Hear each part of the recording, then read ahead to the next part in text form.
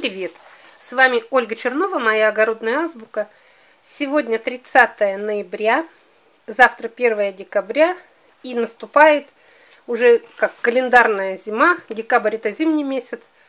Но у нас в сибирском регионе, где я проживаю, зима наступила уже очень давно.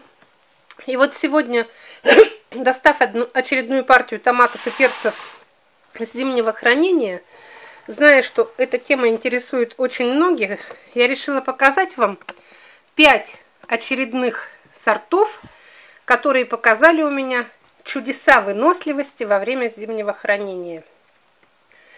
Я уже говорила, что я предпочтительно, ну как, уже знаю, что нужно давать предпочтение вот перцевидным или мелким сортам, таким некрупным. Они хранятся очень хорошо. Но вот меня поразили в этом году чудеса выносливости еще одного сорта нового, который я раньше не хранила. Вот смотрите, есть же у нас сорта, которые специально для хранения. Жираф, лондкипер и ну там все остальные, они позднеспелые. Их специально выращивают, чтобы хранить. Ну вот этот сорт, который очень хорошо пролежал, они вот смотрите, даже не верится, что зима. Я вот достала все эти сорта, они как с куста. Посмотрите, какая красота. Это вообще тверденькие, хорошие такие. И вот среди них вот эти сахарные пальчики.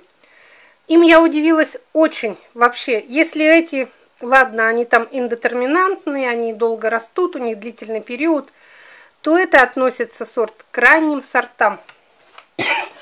Сейчас покажу описание вам. Вот видите, сахарные пальчики. Превосходный раннеспелый сорт – Плоды овальные, красные, вес 70-100 для целеноплодного консервирования. По весу он подходит к тем томатам, которые я всегда укладываю на хранение. Но по срокам ранний спелый томат. В чем секрет? Ну вот просто вот эти томаты, которые я укладывала, они осенью не все успели поспеть. Он был много-много-много. Спелые я употребила осенью. А эти я положила на крайний случай. Думаю, вдруг долежат.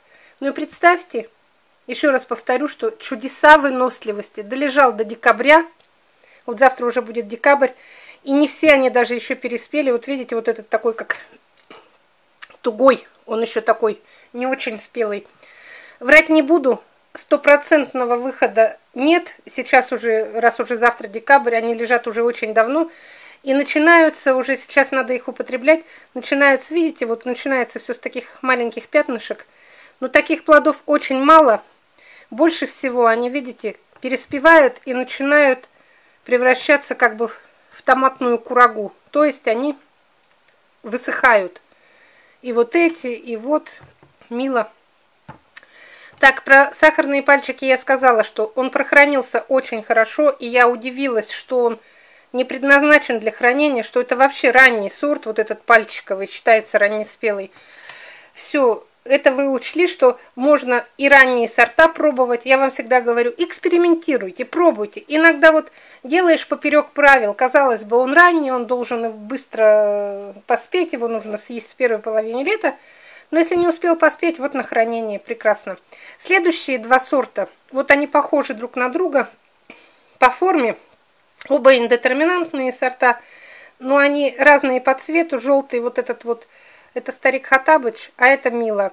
Я заказывала нынче, ну не заказывала, а как получила их по обмену у другого тоже такого же человека, который занимается семенами. Я сейчас вам расскажу про них. И если, к сожалению, у меня нынче я их сама только начала разводить, семян очень-очень мало – но имейте в виду, или на будущий год, или на когда-то где-то купите.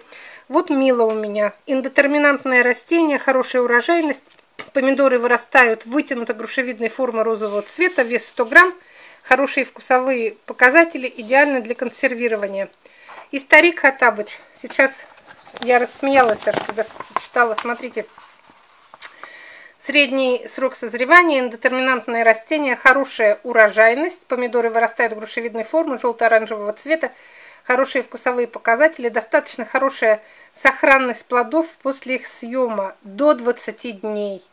Вот представьте, указали до 20 дней, у меня он пролежал 2 месяца, и они в такой хорошей форме, что, ну вообще, Даже грех на них что-то сказать. Вот, конечно, но это природно, это еще так сняла я с таким пятнышком. Это пятнышко, оно сухое, видать, может, ткнулось или что-то.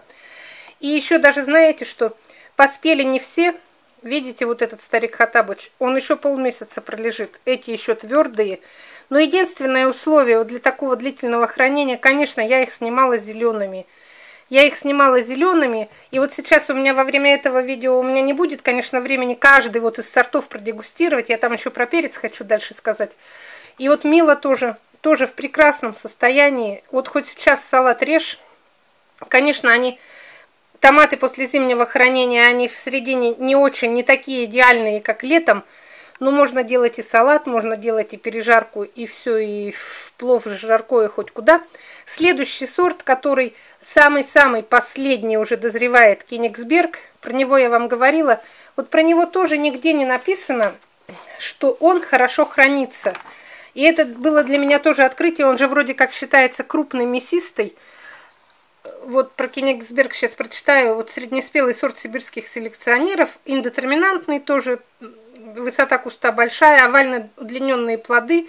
Вес до 300 грамм. Ровные и плотные. Идеально подходит для салатов. И вот здесь прошел акклиматизацию в западно-сибирском регионе. Про длительное хранение производитель тоже ни слова не указывает нам почему-то. Но вот они оказались тоже долго хранящиеся.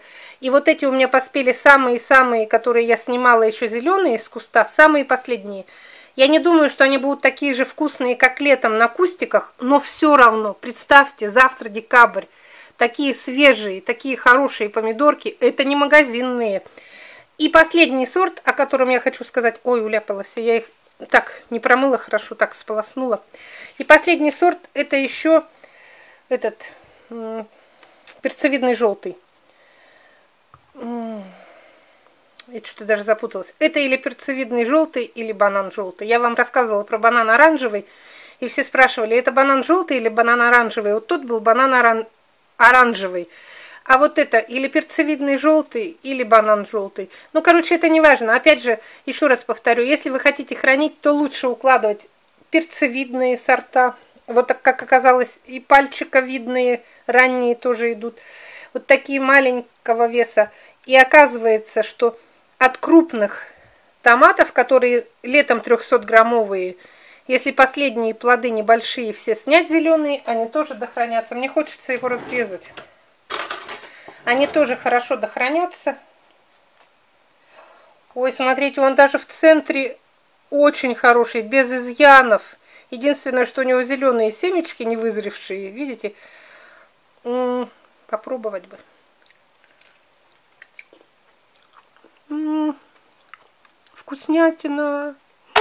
Прям летом и пахнуло. Смотрите, какой он сахаристый. Значит, вот намотайте на ус Кинигсберг золотой. Очень долго хранится, но при условии, если вы его здоровые плоды положите, укладете в подвал. И очень вкусный. Он вот чуть-чуть, нотка кислинки, мягкий, рассыпчатый такой. Все, до свидания. Пять сортов.